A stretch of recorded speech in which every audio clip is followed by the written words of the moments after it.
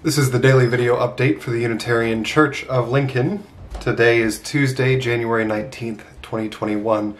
I'm the Reverend Oscar Sinclair. This past Sunday, we talked a little bit about Martin Luther King. We had two excerpts from his speech um, on the Other America as part of the worship service. And we'll be talking in the coming month about um, uh, about beloved community. That's our topic for all of worship in February. And yesterday was Martin Luther King Day. So I want to take a moment today and say that there's a real danger in quoting Martin Luther King as as Unitarian Universalism, Unitarian Universalists, and, and that's this.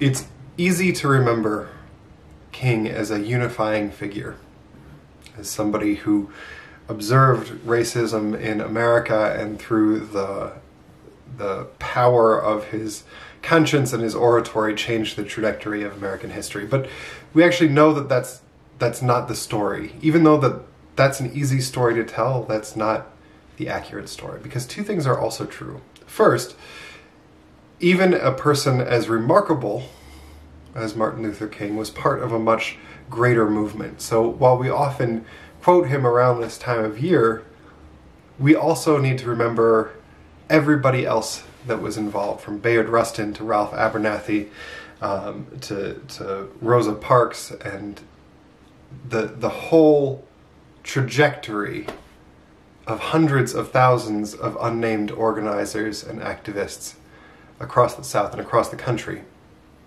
who brought about the, the civil rights movement.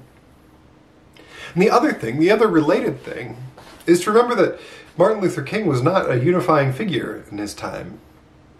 He was a, a radical figure in his time and still now. When you read that speech that we quoted on Sunday, The Other America, it's remarkable at how deep of a critique it is of American society. Around this time every year, I go back and, and read King's letter from a, a Birmingham jail, not because of, of uh, well, I read it because it's a critique of who we are, of who I am. Martin Luther King saved his, his most choice words, not for racists, not for Bull Connor, but for white moderates and liberals who were quick to tell him that this is not the way to just take his time. Those were the people that he drew out for, for particular scorn. And one of the questions that I struggle with every year is what role I play in that letter. Would I be one of the white moderates or liberals that he so disdained? It's a hard question. But I actually think that we can't go through Martin Luther King Day without asking that hard, hard question of ourselves.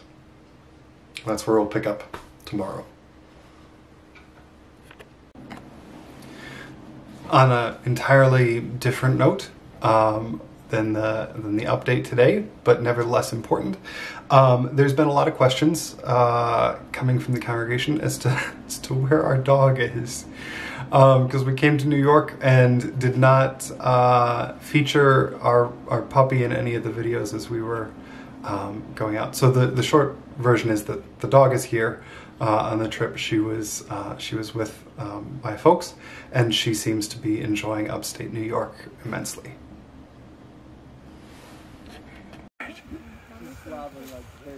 So for a deleted scene for, for daily updates at some point. For folks that have asked where Teddy is, she's right here. She's decided that she likes the snow in upstate New York quite a bit.